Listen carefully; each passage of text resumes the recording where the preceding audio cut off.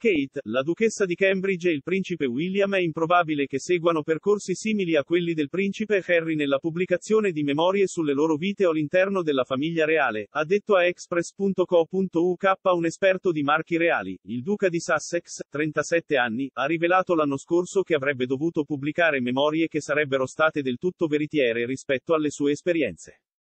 Le memorie erano state provvisoriamente programmate per la fine dell'anno, anche se rapporti contrastanti mettono in dubbio esattamente quando arriveranno sugli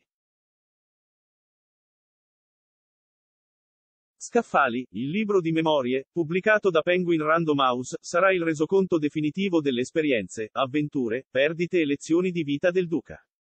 Ma una tattica simile non è quella che il duca e la duchessa di Cambridge avrebbero probabilmente impiegato per contrastare le narrazioni del Sussex, ha detto un esperto reale a express.co.uk.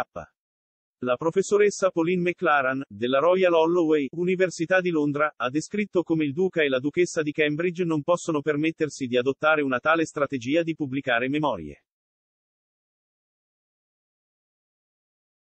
Punto punto. Ha spiegato come il rilascio di una forma di memoriale rivale non si sarebbe rivelata una mossa vantaggiosa per il duca e la duchessa di Cambridge, poiché sono ancora entro le aspettative della condotta della famiglia reale. Il professor McLaren, coautore di Royal Fever, ha aggiunto che avrebbe inviato il messaggio sbagliato da Kensington Palace, costituendo un'azione sconveniente progettata per guadagnare popolarità.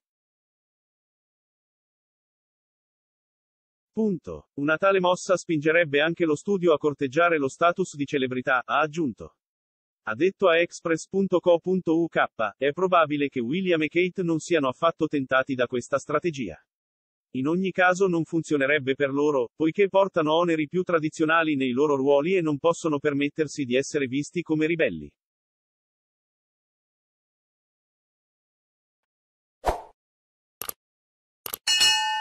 Yeah.